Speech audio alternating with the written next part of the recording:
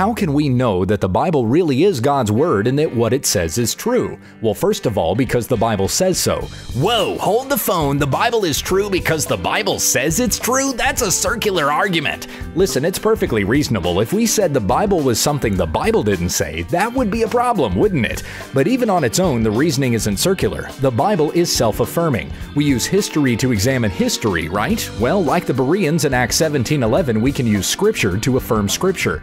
The Bible is a compilation of 66 books written in a span of over 1,500 years by 40 different writers from different walks of life on three different continents in three different languages, and yet it consistently tells the same story with God as its author. Its writers were not aspiring to write canon, they wrote what God told them to. The Bible reveals the fallenness of man and our need for redemption, and the holiness of God and His plan of redemption.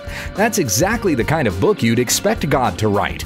We know that the Bible is true because the Bible says it is, because Jesus says it is, because history affirms it, because its prophecies have come true, because it's logically consistent, because what it says we will experience, we experience, and because it has stood the test of time. The Apostle John said that the Spirit of God bears witness to the truth, and it is greater than any witness of man. There are things that may affirm the Bible outside the text, but the Bible affirms itself just fine when we understand the text.